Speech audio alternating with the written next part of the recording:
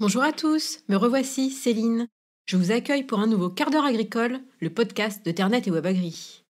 En 15 minutes, un concentré d'infos sur vos cultures, l'élevage, le machinisme et la politique agricole. Au menu aujourd'hui, les conseils de Delphine pour la mise à l'herbe des vaches et de Sophie pour les semis de pois de printemps. Le point sur les règles d'immatriculation de vos machines avec Sébastien et le devenir des aides-PAC dans la réforme en préparation avec Delphine. Le quart d'heure agricole. Le podcast qui vous donne une bonne excuse pour être en retard.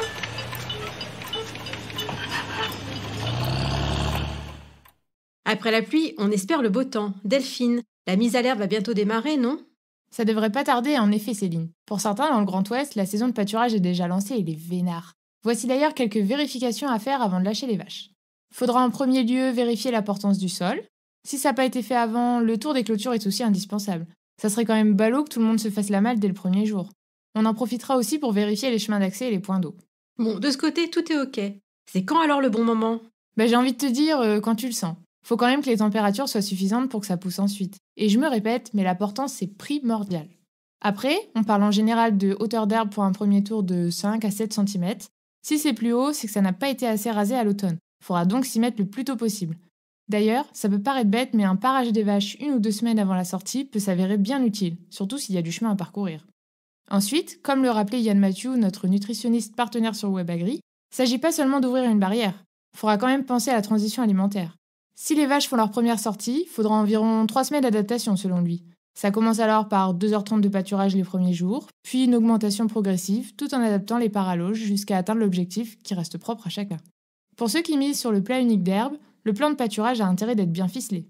Je vais reprendre les conseils de Shane Bellé de PâtureSense, pour qui les deux piliers sont la durée de rotation, c'est-à-dire le temps de retour nécessaire pour que l'herbe soit au bon stade, et les besoins des animaux. C'est seulement après avoir déterminé ces éléments qu'on peut établir le plan et la conduite. Et quand peut-on passer au plat unique d'herbe? Déjà, on peut se passer de concentré azoté dès que le pâturage représente 50% de la ration totale, ce qui fait une belle économie pour commencer.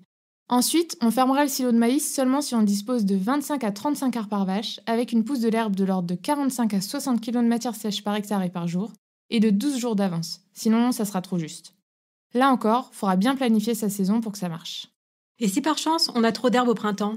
Bah alors euh, c'est le top. On peut dans ce cas écarter certaines parcelles du tour pour les garder pour la fauche. Mais attention, une fois écartées, rien ne presse. Mieux vaut attendre pour les récolter car on sera peut-être content de les retrouver en cas de mauvaise période. Et on en a de plus en plus chaque année. À propos de sécheresse, Shane, qui est comme Yann partenaire de WebAgri, nous expliquait cet été qu'il ne faut pas hésiter à se tourner vers d'autres fleurs plus productives l'été, comme la luzerne, le plantain, le trèfle violet ou encore la chicorée. Mais bon, je vais m'arrêter là, il y a plein d'articles à ce sujet sur WebAgri et on en reparlera sûrement plus tard. Merci Delphine. En attendant de les lire, retrouvons Sophie qui va nous parler du poids de printemps. Présenté le 1er décembre dernier par Julien de Normandie, le plan protéines de 100 millions d'euros vise le doublement des surfaces dédiées à la production de protéines végétales en France d'ici 10 ans. Parmi les cultures qui devraient en profiter, on pense notamment aux pois protéagineux de printemps, pour qui les semis approchent dans plusieurs régions. Cette culture est souvent mise en avant pour ses nombreux intérêts agronomiques. C'est un précédent très apprécié du blé et du colza, il permet de diversifier les assolements et d'aider à la gestion des adventices. Comme les autres légumineuses, il est aussi capable de capter l'azote de l'air et permet ainsi de limiter le recours aux engrais azotés. Une belle liste d'avantages tout ça. Pour autant, je n'ai pas l'impression que le poids de printemps ait conquis tous les agriculteurs. Tu as raison Céline. On entend souvent que l'intérêt économique du poids protéagineux se mesure plutôt à l'échelle d'une rotation. En effet, son rendement affiche une tendance à la baisse depuis les années 2000. La campagne passée, la moyenne était par exemple de 27,4 quintaux hectares, soit moins 13% par rapport à 2019 et moins 7,2% par rapport à la moyenne 2015-2019, selon les données Agrest. Pourquoi cette baisse? D'après les experts Terrinovia, cela s'explique notamment par les différents aléas liés aux maladies et aux ravageurs. La pression puceron, par exemple, a été particulièrement forte et difficile pour les pois en 2020, entraînant beaucoup de problèmes de virose. L'Institut technique encourage donc vivement à réaliser une analyse de vos graines si vous prévoyez de semer votre récolte 2020, car certains virus peuvent se transmettre par la semence. Côté maladie, Terrinovia rappelle aussi de bien choisir une parcelle exemple d'Aphanomyces, ce pathogène persistant du sol peut entraîner de lourds dégâts en cas de printemps doux et humide. Y a-t-il d'autres paramètres pouvant expliquer les problèmes de rendement en poids? Oui, Céline, il y a aussi les conséquences des stress hydriques récurrents, notamment dans les zones intermédiaires. Un stress hydrique va pénaliser la croissance de la plante et limiter l'installation des nodosités pendant la phase végétative. Or, c'est justement le nombre de nodosités mis en place avant le début de la floraison qui va conditionner la nutrition azotée et donc pour partie le rendement. Un stress hydrique au cours de la floraison et de la phase de remplissage aura lui une incidence sur le nombre de grains par plante et le poids de 1000 grains. Que peut-on faire pour contrer ce risque? Eh bien, dans la mesure du possible, choisir une parcelle avec une réserve hydrique suffisante et éviter les sols argileux lourds. Ensuite, on recommande souvent d'être prêt à semer tôt. Attention, toutefois, à ne pas négliger l'implantation. Il est important d'avoir un sol suffisamment ressuyé. Autre point important, il faut s'assurer que les prévisions météo n'annoncent pas de température proche de zéro dans les jours qui suivent le semis, parce que le poids de printemps est particulièrement sensible au gel pendant la phase de germination. Un dernier conseil? Évitez aussi un semis trop dense. Outre le fait que cela soit favorable au développement des maladies, la forte densité peut également favoriser une compétition entre les plantes pour la ressource en éléments du sol et en eau, ce qui va alors augmenter la sensibilité de la culture aux carences et au stress hydrique. Voilà, je vous souhaite à tous de bons semis 2021. Merci Sophie. Avant de partir semer, peux-tu nous rappeler, Sébastien, les règles d'immatriculation des engins agricoles? Car la fois dernière, en croisant un tracteur sur la route, j'ai remarqué qu'il portait une plaque. C'est nouveau? Oui et non, Céline. Disons que jusque-là, les engins agricoles bénéficiaient d'un système bien à eux. L'agriculteur devait apposer son numéro d'exploitation sur chacun des matériels du parc de la ferme s'il voulait circuler sur la voie publique. Depuis le 1er janvier 2021, la règle a changé. Encore une exigence de l'Europe, me direz-vous. Eh bien oui, c'est en effet la Commission européenne qui a demandé aux États membres de se mettre en conformité avec les systèmes d'immatriculation nationaux. D'où le fait qu'en France, les machines agricoles portent désormais les mêmes numéros que les automobiles, à savoir deux lettres, trois chiffres et deux lettres. L'identifiant est attribué à vie, alors pas celle du propriétaire, mais bien celle du matériel.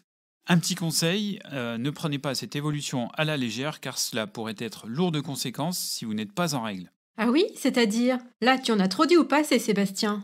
Ok Céline, je développe. Je présume qu'aucun d'entre vous n'a oublié que depuis le 31 août 2020, la loi exige que tous les véhicules automoteurs achetés depuis 2010 ainsi que les équipements remorqués de plus d'une tonne 5 de PTAC et mis en circulation depuis le 1er janvier 2013 doivent être inscrits au SIV. Ouh là là, Sébastien, stop Ne recommence pas avec tes sigles. Personne ne va rien y comprendre.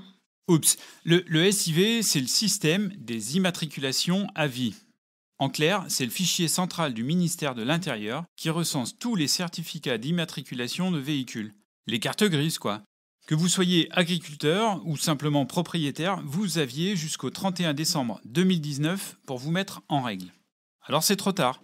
Ceci dit, les pouvoirs publics ont déjà accordé un délai supplémentaire aux contrevenants, euh, étant donné le peu de professionnels qui avaient entrepris les démarches fin 2019. Ils ont accordé six mois supplémentaires. Résultat, depuis le 1er septembre 2020, un engin agricole dépourvu d'une plaque d'immatriculation est hors la loi et son conducteur risque une amende de quatrième catégorie, soit 135 euros. Hop hop hop Céline, où vas-tu? Bah je cours à la ferme pour fixer des plaques. Non non, pas question. L'agent vient de t'attraper, il peut décider d'immobiliser ton véhicule sur le champ. Mieux vaut donc ne pas jouer, d'autant plus qu'en cas d'accident, vous auriez tout faux, n'étant pas en conformité.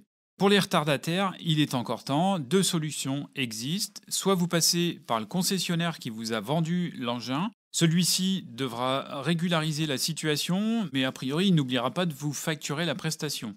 Autre possibilité, gérée par vous-même, à condition dans ce cas d'être en mesure de présenter le certificat de conformité, le fameux barré rouge. Du coup, aujourd'hui, tout le monde bénéficie d'une carte grise? Théoriquement, oui. Depuis le 1er janvier 2021, tous les tracteurs agricoles, quelle que soit leur date de mise en circulation, doivent être enregistrés au SIV et ont l'obligation d'apposer la plaque d'immatriculation. À l'arrière seulement pour ceux qui sont rattachés à une exploitation, à l'arrière et à l'avant pour tous les autres. Et elle coûte combien cette carte grise? Bon, pas de panique Céline, son coût ne devrait pas te ruiner. Chaque certificat coûte 13,76 euros, soit plus exactement 11 euros pour les frais de carte grise et 2,76 euros pour les frais d'acheminement. En clair, tous les matériels agricoles roulants doivent être immatriculés, le tracteur, qu'il soit à roues ou à chenilles, les machines automotrices ou les moissonneuses-batteuses, et les outils remorqués. Par exemple, les bennes, les plateaux, les porte-outils, sans oublier les pulvérisateurs, les rouleaux, les semoirs, ou même les déchaumeurs semi-portés. En effet, Sébastien, c'est bon à savoir pour éviter les amendes. Maintenant, c'est le moment d'évoquer avec Delphine la réforme de la PAC qui entre dans sa dernière ligne droite. Si le budget de la PAC a globalement été préservé, l'incertitude qui règne encore concernant la répartition des aides inquiète légitimement les agriculteurs. d'autant plus que les problématiques auxquelles la politique agricole commune doit aujourd'hui répondre sont complexes. Enjeux climatiques et environnementaux, enjeux sociétaux, enjeux alimentaires et renforcés par l'arrivée de la pandémie de Covid-19, les enjeux de souveraineté. Les aides couplées et découplées qui étaient initialement versées au titre de la compensation de la baisse des prix institutionnels sont de plus en plus difficiles à justifier. Or, le poids de ces aides directes dans le revenu des agriculteurs est important. 63% au sein de l'UE à 28 et 88% en France. Cette situation rend donc difficile une nouvelle répartition des aides puisque dès que l'on y touche, on impacte les revenus des agriculteurs. Et pourtant, l'efficacité de ce dispositif face aux enjeux actuels n'est pas forcément à la hauteur, aussi bien du point de vue de l'environnement que pour les agriculteurs qui sont nombreux à ne pas se dégager un revenu décent. Et pourtant, la volonté de répondre aux objectifs environnementaux pourrait fortement impacter leurs revenus.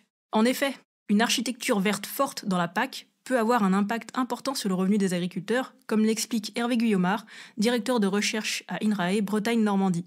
Si vous êtes très exigeant en matière de conditionnalité, ça va avoir des impacts forts négatifs sur les revenus agricoles, toutes choses égales par ailleurs. Si par contre vous cherchez à atteindre des objectifs ambitieux environnementaux via des éco-régimes et des MEC, c'est-à-dire via des aides, eh ben, ça va soulager en fait le revenu agricole.